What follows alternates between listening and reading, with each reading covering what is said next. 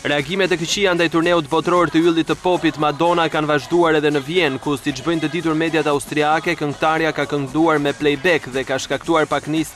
Reagimet e këqija ndaj turneut botëror të yllit të popit Madonna kanë vazhduar edhe në Vjenë, ku siç bëjnë të ditur mediat austriake, këngëtarja ka kënduar me playback dhe ka shkaktuar pakënaqësi të madhe te fansat e saj.